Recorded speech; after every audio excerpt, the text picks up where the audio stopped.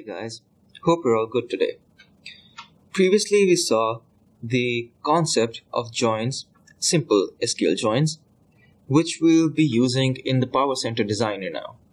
So, this video will discuss the inner join. Chances are that you've already written an SQL statement that uses an SQL inner join. It is the most common type of SQL join. SQL inner joins return all rows from multiple tables where the join condition is met. The syntax for the inner join is that select columns from table 1 inner join table 2 on table 1 equal to column and table 2 equal to column. The inner join returns all the values of the intersecting table part. So let's take a look at an example of this. Let's go to SQL Assistant we'll connect to the database source HR database and take a look at the data in the employees and departments table which we'll be using in our example. So connect to the test1 ODBC connection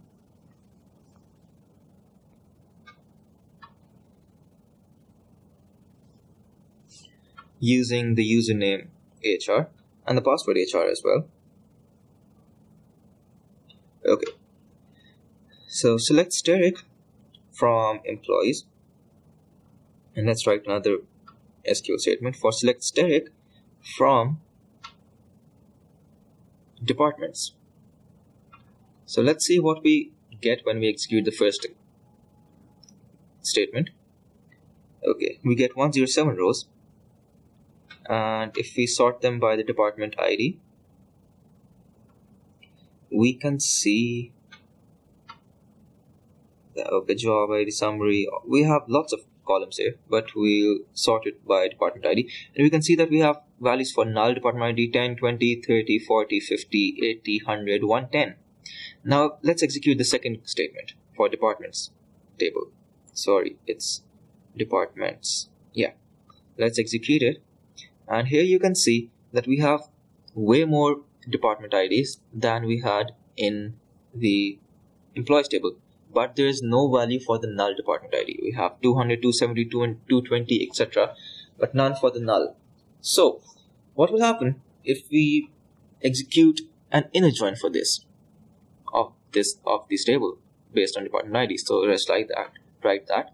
Select static from departments from employees. Let's give it an alias as E inner join departments with the departments with alias D on e dot department ID equal to d dot department ID.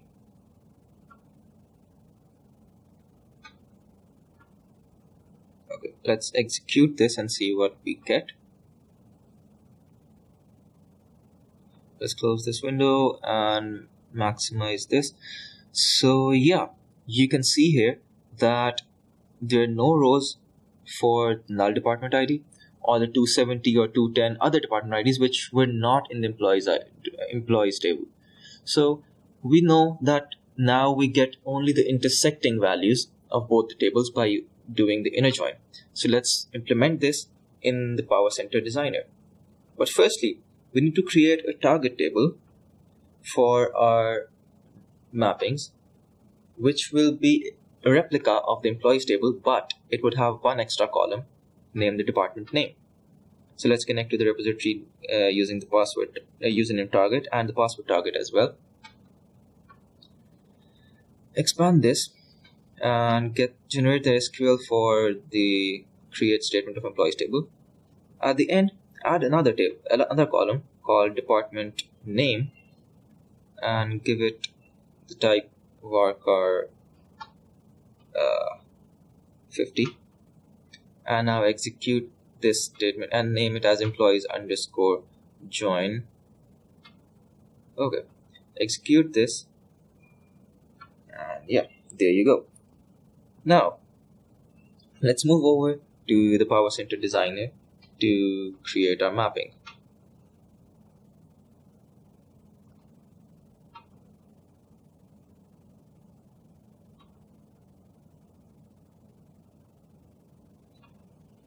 Okay, now connect to the repository using the name administrator and password oracle.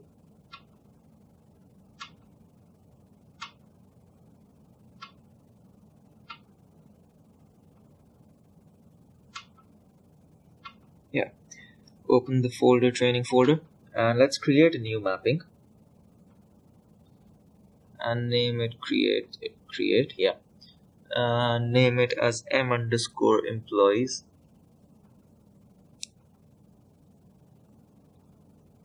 Underscore employees underscore join. Click ok. Now we need to import a new target as we have already have the source employees over here and departments also. So let's drag and drop them over here arrange them all. Now let's import the target table from database.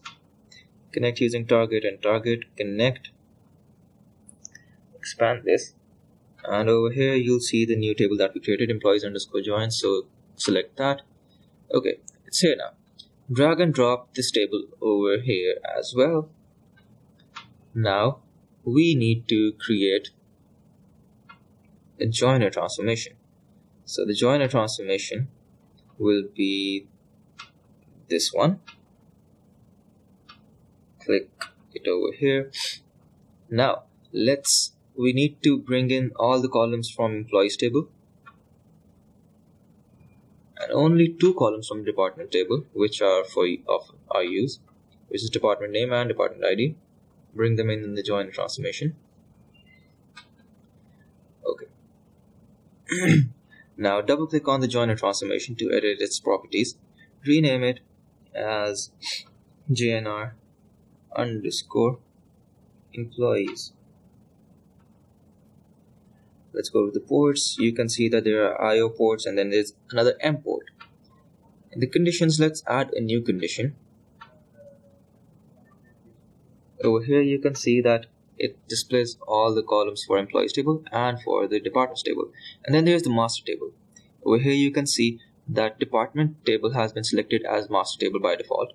But if we click on any of the columns of the employees table automatically all the columns get selected as master but generally the rule is that we select the smaller column table with less number of rows as the master table so let the department id department table be the master table now in the properties tab, we'll select the normal join, which is the inner join.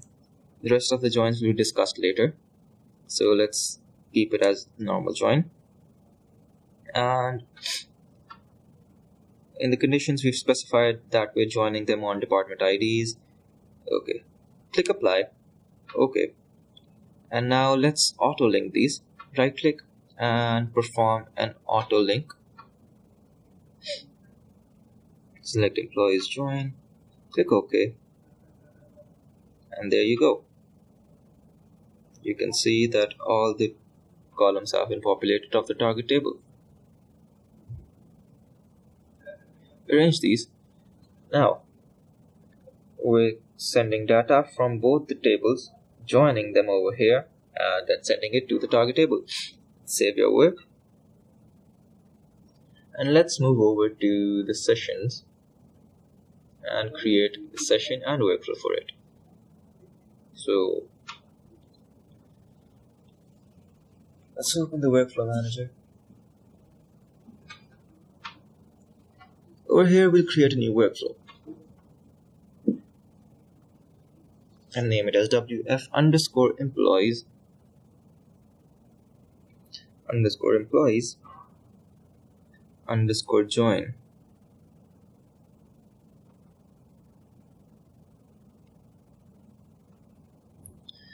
create a new session for the mapping that we just created, the join mapping. Now let's connect the start of the workflow to this session. And now we need to edit the properties of the session. So let's double click on it, rename it first and remove the M underscore for naming convention purposes. And then select the fail if parent task fails. In the properties tab, let's select the write backward compatibility session log files and if you scroll down we need to set the session and target uh, database connections. So for the source connection, we'll select HRS source, and for the target connection, we'll select the target database. Next, let's go to the config object. Over here, scroll down to set the number of session logs that we need to save. Let's set it as 5 and stop on errors as 1. Okay, in the mappings tab, for both the sources, we need to give in the connection as the variable connection, connection variable dollar source. Nothing else to be set over here. For the second source, given the connection variable is dollar source as well. Okay, no other option to be selected here. For the target, given the connection value as connection variable dollar target.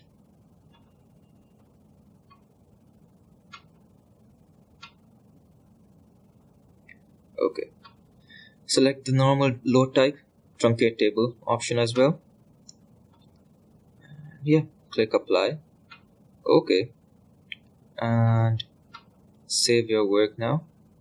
Or let's first validate your work. Okay, it's valid. Now save it. And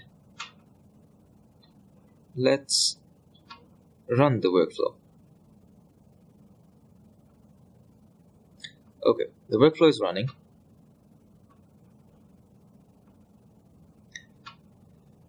Here you can see that it succeeded successfully and 27 and 107 rows, 106 rows were written to the target. Let's go to the session log and see what happened.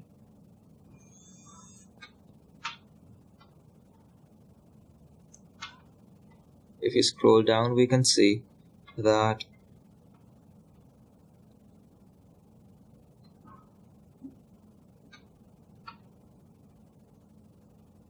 yeah. 106 rows were written to the target. 107 were taken from employees table. 27 were taken from the departments table. So let's go to target database and see what we have in the table. The target table. So select step from employees underscore join.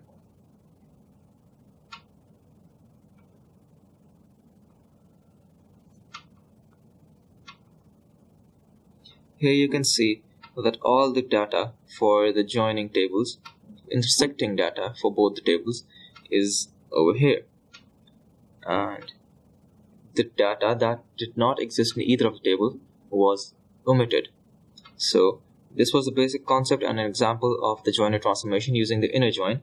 So in the following lectures, we'll be looking at a few more examples of the joins. So stay with us. Thank you so much and bye bye.